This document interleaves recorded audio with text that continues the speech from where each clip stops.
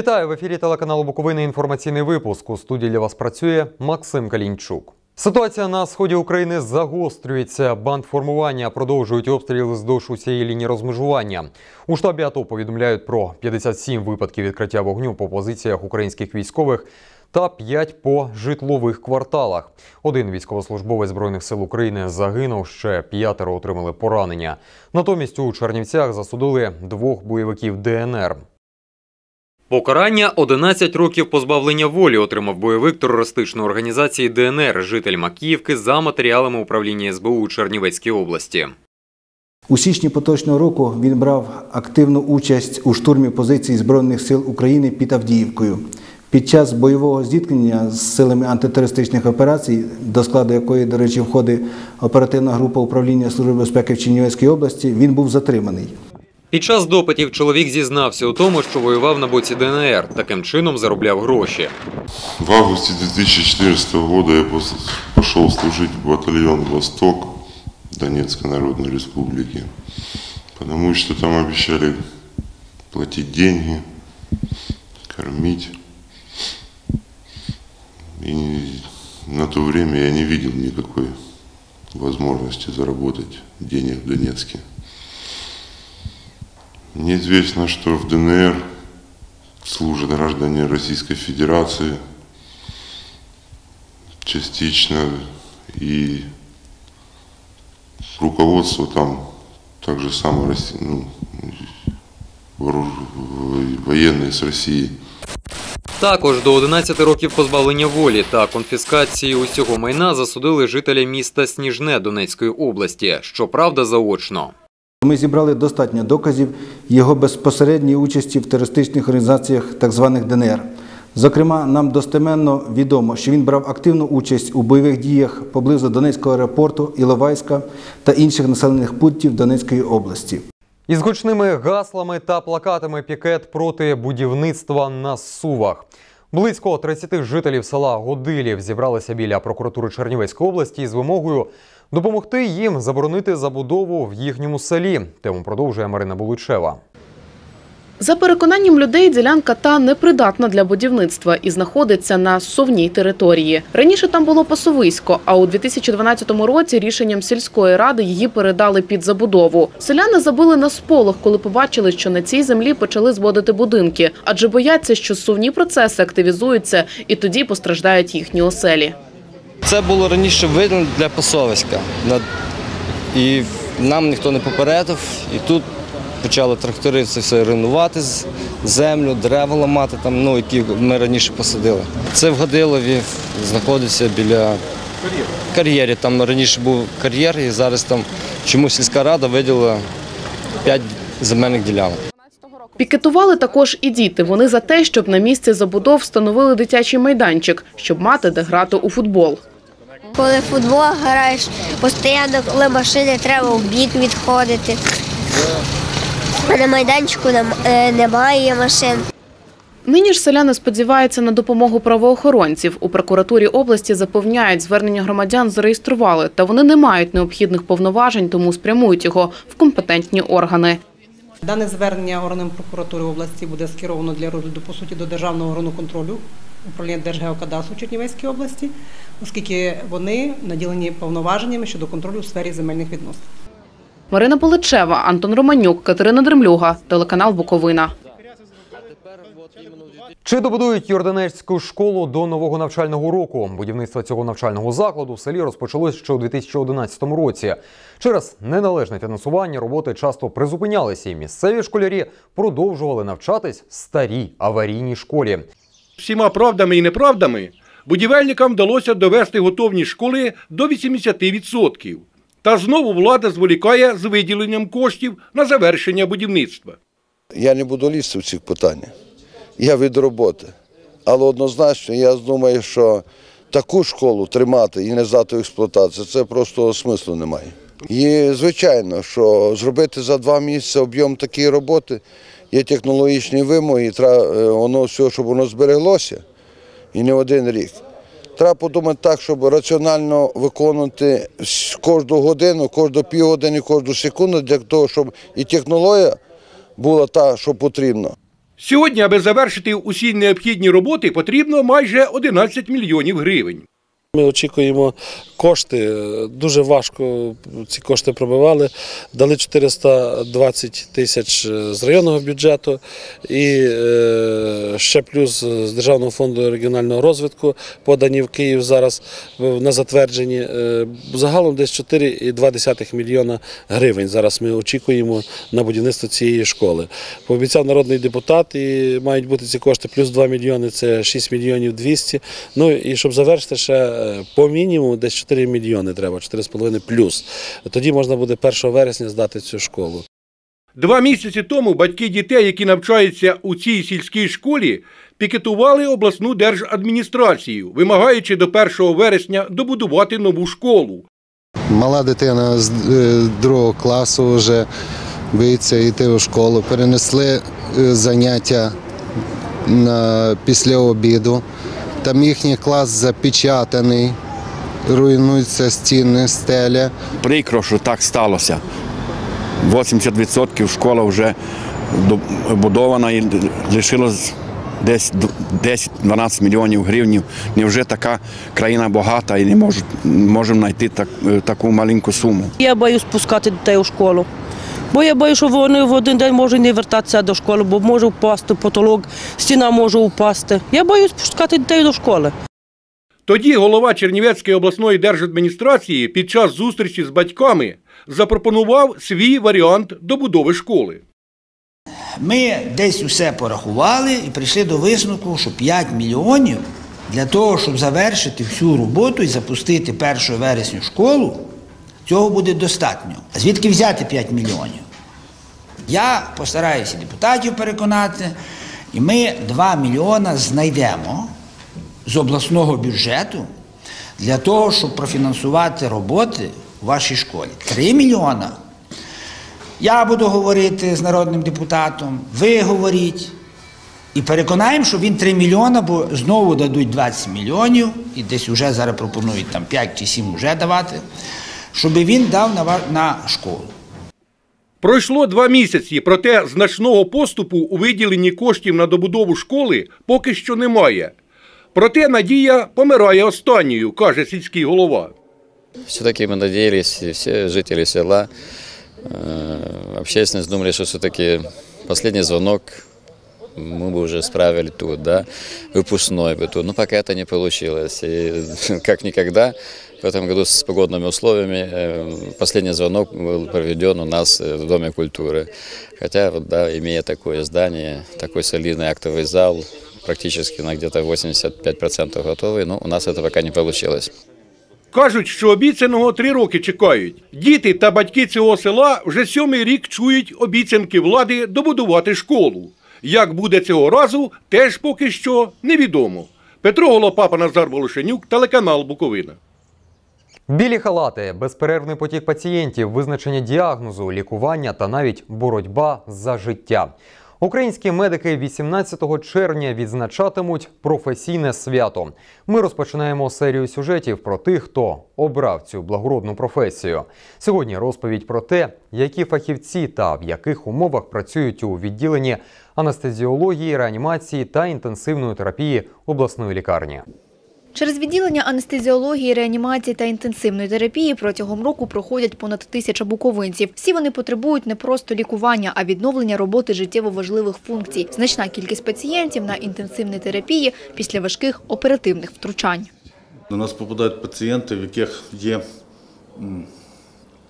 критерій життєво важливих функцій, тобто це серцево-суденна система, це дихальна система, це тотальне враження органів. Критерій роботи нас дійсно на грані між життям і смертю.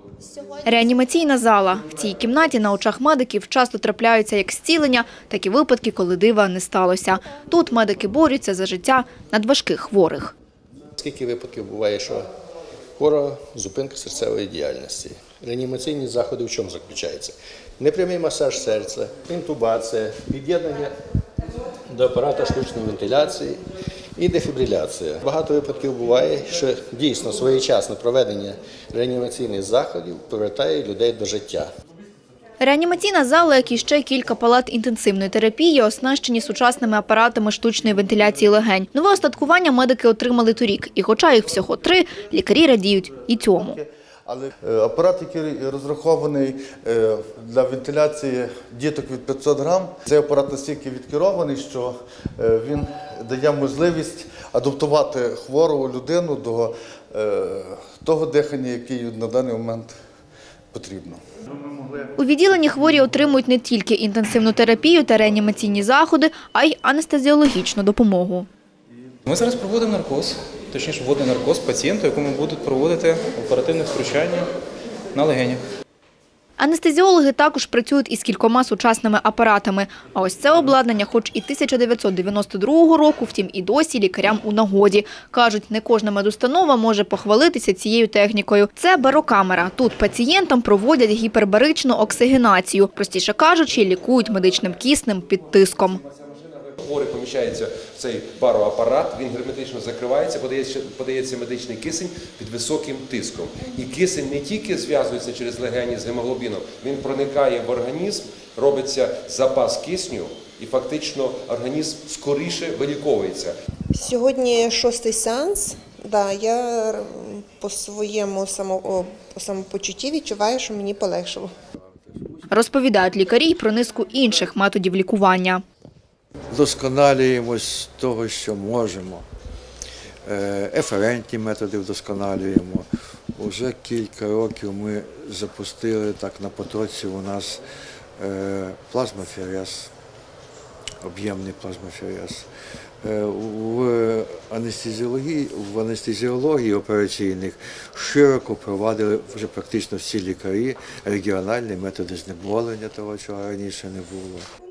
Пані Ганна працює тут медичною сестрою вже 12 років. І попри те, що у медичній галузі постійно не вистачає коштів, зарплатня невисока, зізнається, медицина – це більше, ніж робота чи спосіб заробітку. Медсестра має бути мамою, медсестра має бути психологом, медсестра має бути дуже широкопрофільною, розумієте, людиною. Якщо ваші хворі зустрічають вас, ваші пацієнти на дорозі, вам дякують, вони живі, здорові, все у них добре, то це е, дуже приємне відчуття. Вікторія Лупай, Назар Волошенюк, телеканал Буковина. Купальний сезон на Буковині. На пляжах та у паркових зонах побільшало відпочивальників. Та як запевняють рятувальники, не всі знають і не всі дотримуються елементарних правил відпочинку поблизу водойм. Детальніше у сюжеті. Нині у парку Жовтневому небагатолюдно, та як переконують рятувальники, у вихідні дні тут справжній аншлаг. Окрім бажаючих просто відпочити на природі, багато тих, хто, незважаючи на сувору заборону, лізе у озеро купатись, і зазвичай дітей з них найбільше. Микола Савчук, матрос-рятувальник, ділиться особистою статистикою. За останній місяць ну, при мені було три. І в основному це діти. Неповнолітні, шкільний, шкільного віку. А чому? Ну, батьки не, не наглядають, кажуть, де мама, тато? А нема вдома або на роботі. Все. Я кажу, а вас що пустили сюди? Вони будто ці знаки не бачать. У нас навіть ось є знак, що на причал не можна заходити. І тут всі, ми постійно лише ганяємо. Чергову роз'яснювальну роботу із дітьми, які купаються в озері без нагляду дорослих, рятувальник Микола проводить разом з нами. Запевняє порушників, купатись тут небезпечно через велику глибину. Діти уважно слухають і кажуть, батьки дозволили. Питали дозволу у батьків? Я питав. Да, і що тут мама казала? Можна. Можна? А не боїтесь? Ні, тому я плаваю. Я три роки ходжу на плавання. Ми беремо з них обіцянку, що купатись вони більше тут не будуть. Що, не будете більше купатися? Ні. Обіцяєте? Та вже за мить. Не боїться купатись у озері пані Людмила. Вона постійно ходить сюди відпочивати. Каже, це зручно. У самому центрі міста є де засмагати і зануритись у воду. Я знаю, что препятствие только в том, чтобы не тонули. Других, других препятствий нет. Дети купаются. А от пан Ярослав води цієї боїться. Каже, якщо є таблички, які забороняють купатись, не ризикуватиме. Та й рибалки переконують, вода занадто брудна. Купатися щось не, дуже бажання є у цьому водойомі. На жаль, на Буковині з початку купального сезону вже є загиблі під час відпочинку на водоймі. На Кіцманщині втопився чоловік. Аби запобігти таким випадкам, рятувальники закликають дотримуватись елементарних правил: не залазити у воду у стані алкогольного сп'яніння, не запливати за обмежувальні знаки, наглядати за дітьми і купатись лише у спеціально відведених та обладнаних для цього місцях. Марина Боличева, Юліан Пилипяк, телеканал Буковина. Подаруй дитині казку. Відомі письменники беруть в руки книги і йдуть до онкохворих діток, аби затягнути їх у світ фантазій та незвичних пригод.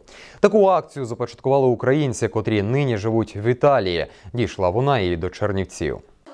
У цій кімнатці повна тиша. Тут зібралися майже уся дітвора з кардіо-онкогематологічного відділення. Вони різного віку та статі. Проте зізнаються, казки люблять усі. Буковинська письменниця та художниця Христя Венгренюк сьогодні казкарка. Мишки вже два тижні їздили країною. Вони бачили багато гарної місцевості, однак жодної не було задоволені на всі сто. Проте не казками єдиними. Опісля прослуховування вирішили, так би мовити, закріпити матеріал, намалювати героїв казок. Хтось береться за олівці відразу, дехто не наважується. 12-річну Олександру переповнюють емоції, адже із малюванням вона і хоче пов'язати своє життя після одужання. Щасливим. Я б е, пішла вчитися на художницю. Ну, мені подобається малювати. У восьмирічного Богдана вийшов ось такий яскравий малюнок. Так як у всіх мишок, всіх котів є внутрішні червоні вошки. Хлопець зізнається, після казки про мишеняток мандрівників і у самого з'явилося бажання подорожувати, бо нині йому вже можна. У нього ремісія. Поїхати на море. Акція «Подаруй дитині казку пройшла вже у Вінниці, Кропивницькому. Далі запланований Харків та Івано-Франківськ. Ініціювали її представники міжнародної благодійної групи «Подаруй посмішку» Ірина Луць та Оксана Трапані-Гаденко, які проживають в Італії. До них долучилися ще й чимало небайдужих, які зібрали для діток подарунки. От 16-річний Роман радіє презенту – книжці. Сталки та його команда. Як ти думаєш, про що це і чи, чи це Ну, думаю, це про якісь подорожі чи ну, щось такого. Да. Для мене це було дуже близьким і зовсім не складно, бо я працюю з дітьми, працюю з дітьми нездоровими, тільки в іншому плані. Е, І колись також також у мене були великі проблеми, коли була маленька з кров'ю, і ніхто не знав типу до кінця, що це. Тому було подібних багато лікарень, але дякувати Богу, з часом це все переросло. І тобто, якось десь там я, я теж пам'ятаю. Подібні стіни, подібних дітей, подібні стани, але е, зовсім мова не про себе і не про це, а про те, що дуже багато навіть в такі важкі відділення приносити хоч трішечки свята, трішечки любові. Бо е, окрім медичної допомоги і окрім е, фінансової, дуже важливо зарядити дитину на позитив. Цього дня для діток це був не єдиний сюрприз, адже до них ще й прийшла міс Українська Канада. Ірина зазначає, не знала про акцію «Подаруй дитині казку», проте і їй самій було цікаво послухати, і як в дитинстві разом помалювати. От, наприклад, з Ангеліною розфарбовувати котика. Надзвичайно було приємно е, побути з дітками, помалювати, допомогти їм і отримати такий заряд і від них позитивних емоцій, тому що цей обмі- обмін А вже в кінці дітвора поласували ексклюзивним тортом, зробленим з любов'ю від Катерини Пономарьової. Кажуть, дуже смачно і настрій після процедур однозначно покращився. Лікарі переконують, позитивні емоції це півшляху до одужання, тому їх треба побільше. Чим більше, чим більше є у, у, до дітей е, уваги, тим легше лікуються. Ну, Приємно. Знаєте, у нас дуже багато людей, які приходять, е, дають подарунки, дають кошти на медикаменти, приносять медикаменти. Слава Богу, що є такі люди. А допомагати є кому. На диспансерному нагляді перебувають 178 неповнолітніх буковинців, яким діагностували онкозахворювання. З року в рік медики констатують збільшення кількості недужих. Для порівняння у 2014-му вперше виявлених онкохворих діток було 18, а вже у 2016-му – 36. З початку цього року 15 нових випадків. Але юні пацієнти певні – усе здолають. тільки позитивно мислити і все буде добре. Наталя Синюса, Катерина Дремлюга, телеканал Буковина. Муніципальні стипендії отримали юні чернівецькі митці. У центрі культури Вернісаж нагороджували учнів музичних та художньої шкіл Чернівців. Такий захід проводиться вже більше 20 років поспіль, аби заохотити дітей до навчання та творчості. Мар'яна грає на фортепіано вже 8 років. Каже, любов до музики прищепили батьки. Розповідає, різні конкурси та змагання для неї не новинка. Однак сьогодні щаслива, що ввійшла в десятку кращих зі своєї школи. Не все легко, були, були дуже складні моменти, але якщо ти будеш займатися і прагнути до цього, то ти обов'язково досягнеш своєї мети. Муніципальні стипендії отримали 50 учнів з чотирьох музичних шкіл та однієї художньої. Оцінювали дітей за результатами останнього семестру навчання. Діти, які достойні цієї стипендії, це добре, що поки що її зберігають оцей захід. Для них важлива навіть і грамота. Для випускників стипендія 150 гривень. То ще далі навчатиметься 100. Організатори кажуть, гроші хоч і невеликі, однак певний стимул. Євгенія Гайфер, Антон Романюк, телеканал Буковина. Красу дев'яти планет сонячної системи спробувала зобразити на полотні чернівецька художниця Вероніка Гнатюк. Вона представила свої роботи у Чернівецькому обласному краєзнавчому музеї. Відкриття виставки було незвичайним із дефіле та фотосесією. Хочу показати е, цією виставкою, що якщо подивитися на масштаб планет і е, взагалі на співвідношення, то наша планета настільки маленька, і наші люди настільки маленькі, але вони свої проблеми сприймають дуже серйозно. І насправді ну, наше життя це мить, і потрібно насолоджуватися кожною миттю свого життя, а не ну, е, як кажуть, перейматися через якісь життєві дрібниці. Яскравим доповненням виставки та способом передати усю велич всесвіту стала експозиція фотографій Руслана Трача, на яких художниця виступає у ролі сонця та дефіле моделей у сукнях із зображеннями планет. Наша сонячна система почалася з саме з сонця. Ми зробили початку першу сукню сонечко наше, е, а потім вже підключили наші планети 9 планет. Це ідея була Віронікіна. Ми е, спочатку з цієї сукні стартували, потім підключили перукарів і запропонували зробити дефіле для того, щоб це був не статичний проект, а динамічний, щоб було е, цікаво для глядачів для сьогоднішньої нашої презентації. Приємно відчувати себе в цьому образі. Це дуже цікаво, заохоплює тебе. Відвідувачам незвичні картини мисткині сподобалися, як і незвичність самої їх презентації. Картини дуже цікаві, насиченість кольорів, е, кольорова гама сподобалась. картини.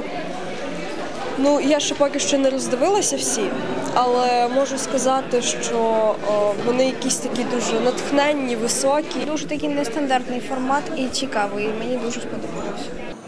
Картини Вероніки Гнатюк буковинці зможуть подивитися до 17 червня у Чернівецькому обласному краєзнавчому музеї. На цьому наш інформаційний випуск завершено. Більше новин ви можете переглянути на нашому сайті bukovina.tv. Бажаю вам гарного настрою, міцного здоров'я та лише позитивних новин.